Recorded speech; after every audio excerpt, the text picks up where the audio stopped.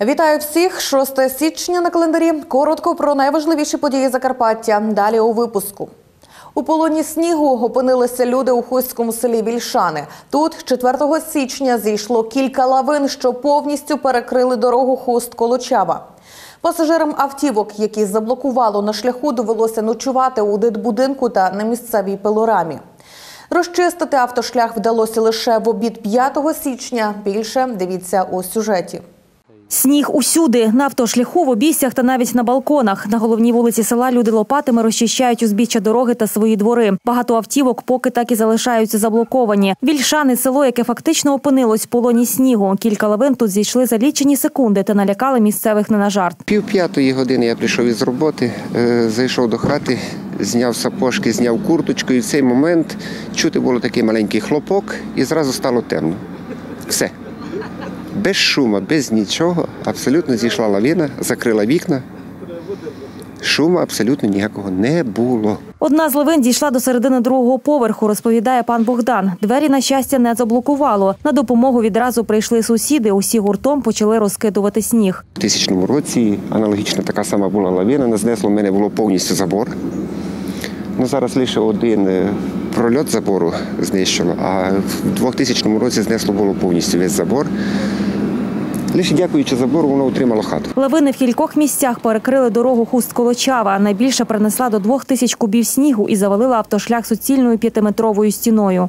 Лавини дійшли ось з тієї гори. Будинки тут стоять зовсім поруч зі схилами, тому від лавин тут фактично нема порятунку, адже тонни снігу, які падають зі швидкістю, можуть зруйнувати сільські хати вщент. На щастя, велику силу лавина не мала, тож шкоди не наробила. Втім, через снігові завали відрізаним від світу опинився вільшанський будинок-інтернат. Заблокувало на шляху і кілька автівок. Ми виїхали зразу туди на місце події. е, Також виїхали дорожні служби. МНС. Саме головне, що ніхто не постраждав, тобто немає людських якихось е, е, люди, з- слава Богу, живі, е, які опинилися були між тими лавинами. Вони безпечно переночували ніч у дитбудинку. Протягом доби розчищали автошлях та відкрити проїзд дорогою обласного значення вдалося лише по обіді 5 січня. Є техніка, підключилася адміністрація, допомагає нам Національний природний парк Синевір, які дали свою техніку з сторони Міжгірського району. Е, Звісно, люди страхові і люди самі допомагають, сприяють чим можуть. Хоч місцеві і налякані, та у хаті не сидять, продовжують працювати з віниками та лопатами, адже сніг і далі продовжує падати. Дуже крутий схил, що ці дерева, які є наверху, вони не стримують. Як правило, лавина сходить е, в проміжках там, де течуть потічки гірські. Вниз, от там назбирується багато сніга, і воно потім е, сніг не витримує, сунеться по нижній поверхні і сувається на проїжджу частину іменно в цих містах. У найближчі дні синоптики прогнозують сильні морози, а це стримає сніг на вершинах. Втім, зима ще попереду, а це означає, що схожа ситуація може повторитись. Сильні морози вже цієї ночі випробували Закарпаття. Та це ще не межа, кажуть і рятувальники. 6-7 січня по території Закарпатської області очікується різке зниження температури повітря. Вночі 15-20 градусів морозу у горах місцями до 23. В день до 10-15 із позначкою мінусу у горах місцями до 18-20 морозу. На дорогах буде ожеледиця. Із цього приводу Закарпатський обласний центр із гідрометеорології оголосив штормове попередження. Після анонсованого значного зниження температури повітря в області почали відкривати пункти обігріву. У наметах чергують рятувальники. Сьогодні в області діють 28 стаціонарних та 2 мобільні пункти обігріву.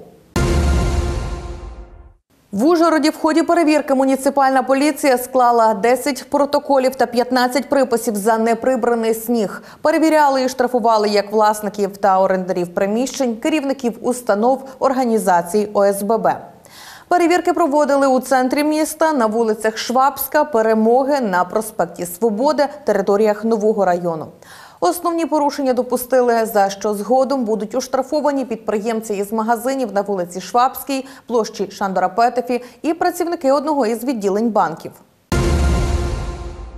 Одинадцятий фестиваль генташів різників на Берегівщині відмінили через африканську чуму. Про це повідомив сільський голова села Геча, де завжди проходив захід. Головне управління Держпродспоживслужби у Закарпатській області не рекомендувало проводити свято у зв'язку із складною епізоотичною ситуацією по африканській чумі свиней в Україні. Відомо, що фестиваль різників у селі Гече вже запланували на кінець січня цього року. Однак наприкінці 2016-го на Виноградівщині виявили африканську чуму свиней. І про святкове наостанок. 7 січня Різдво відзначатимуть вірники східного обряду. Як готуються до храмового свята у чоловічому Свято-Миколаївському монастирі у Малому Березному та як радять готуватися до народження Ісуса Христа парафіянам у сюжеті наостанок. Різдво Твоє, Христе Боже,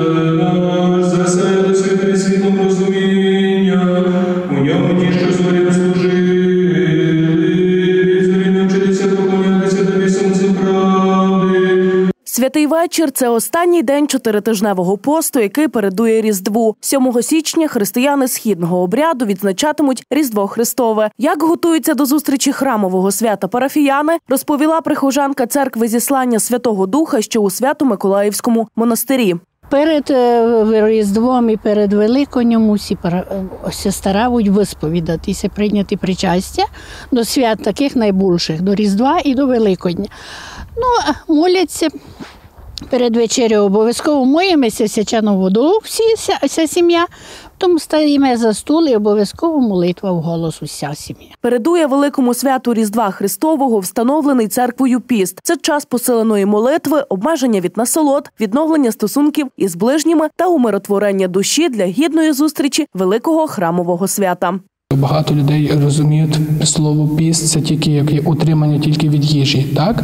Але дуже важливо, чому я кажу примирення, тому що багато людей можуть їсти своїх ближніх і не їсти м'яса, і людина воліє краще їсти м'ясо ніж свого ближнього. Тож отець Еміліан наголошує, що піст тілесний без посту духовного нічого не приносить для спасіння душі, а ще радить посповідатися і причаститися. Немає, немає нічого кращого, ніж прийняти Ісуса Христа народженого з чистим серцем і душею. А оскільки сповідь, свята є сповідь і святе причастя це є найперші, найбільші середники, завдяки яким людина очищується і приймає новонароджене дитя в своє серце. Піст, примирення, любов до оточуючих, сповідь, причастя і молитва найкращі супутники у підготовці до дня народження Ісуса Христа, який заради спасіння людей зійшов з небес. На цьому у нас все. Дякую вам за увагу і за довіру до телеканалу. Хочу привітати вас із наступаючим Різдвом і побажати всього найкращого. Побачимось невдовзі на цьому ж каналі.